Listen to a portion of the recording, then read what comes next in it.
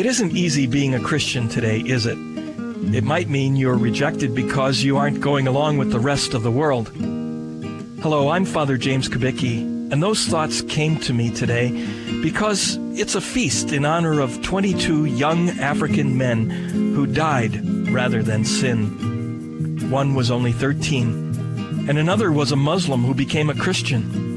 And they were all killed in terrible ways because their ruler, King Mwanga of what is now Uganda, demanded that they engage in homosexual practices with him. It wasn't easy being a Christian in 19th century Uganda, and it really isn't easy today either. You may not be faced with such life threatening choices as these young men were. Their choice to be Christian and follow the commandments led to their torture and death. They gave up their physical lives and found eternal life in heaven. You may not be faced with choices that will lead to persecution and death like them, but you'll still be faced with choices that can kill your spiritual life, that can separate you from God, the source of eternal life.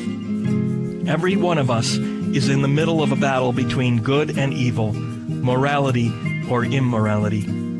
That's why I, I, like a prayer that appears in the breviary today. We are warriors now, fighting on the battlefield of faith, and God sees all we do. The angels watch, and so does Christ. What honor and glory and joy to do battle in the presence of God. Let us arm ourselves in full strength and prepare ourselves for the ultimate struggle with blameless hearts, true faith, and unyielding courage.